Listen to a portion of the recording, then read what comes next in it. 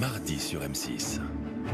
Mike Horn, aventurier de l'extrême, a fait le pari fou d'emmener avec lui une célébrité, Michael Youn. Je connaissais absolument pas Mike Horn euh, avant cette, euh, avant cette aventure. Je le connaissais médiatiquement, je connaissais l'aventurier, je connaissais l'animal, j'ai envie de dire, mais je ne l'avais jamais rencontré. Et, là, et justement, on a essayé de préserver ça. On aurait pu se rencontrer pour préparer un peu l'aventure, et on a décidé de se rencontrer, non. Le jour du départ, sur le sommet de la montagne. Ça, c'est la distance de sécurité entre toi et la mort. Hop, Oh là là, mais qu'est-ce que je fais là? Moi dormir ou personne n'a dormi. C'est marrant que je l'ai vu arriver.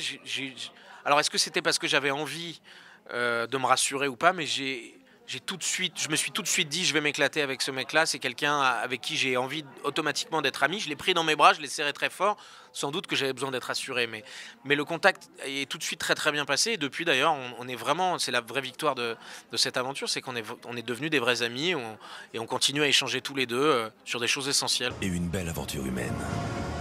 Je vais pas être exactement le même mec quand je vais rentrer chez moi. Ouais, ouais, on s'est revus et je vous dis, on est potes, on s'envoie des messages. Alors, il est pas souvent quand même à Paris, il est à Paris que pour des obligations professionnelles, mais, euh, euh, voilà, on échange de temps en temps. euh, c'est, une très très belle rencontre et c'est assez rare dans la vie de vous dire, tiens, j'ai rencontré quelqu'un d'extraordinaire, quelqu'un de différent, quelqu'un qui m'impressionne.